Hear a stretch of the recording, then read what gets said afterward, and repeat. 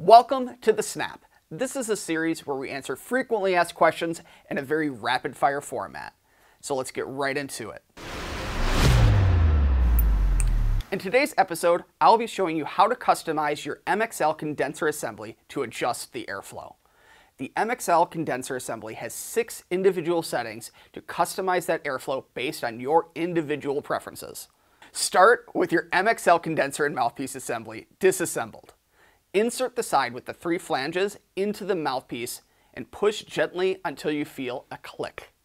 Use this position for the most draw resistance. This can result in denser but hotter vapor. Proceed to insert the condenser further into the mouthpiece up to five additional times. With the airflow opening up with each subsequent setting.